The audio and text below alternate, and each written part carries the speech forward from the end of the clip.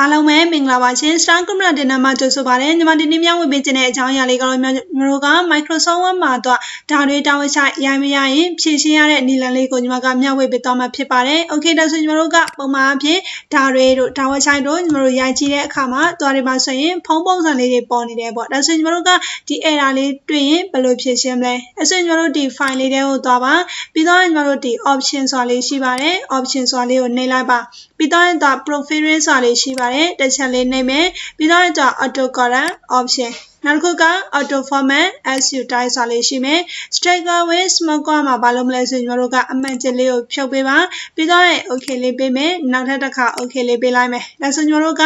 ရိုက်ကြည့်မယ်ဒါတွေရိုက်ကြည့်မယ်ဒါဝချိုင်ရိုက်လို့ဘာဖြစ်သွားမလဲဆိုရင်ကျွန်တော်တို့ကရသွားပါလိမ့်မယ် okay အားလုံးပဲအဆင်ပြေပါစေရှင်